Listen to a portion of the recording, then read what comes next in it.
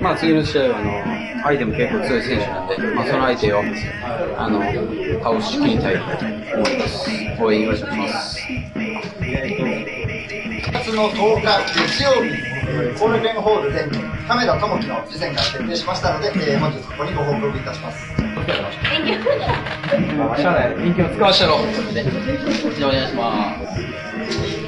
ミシェルボクシングで必ず2本取ります。応援よろしくお願いします。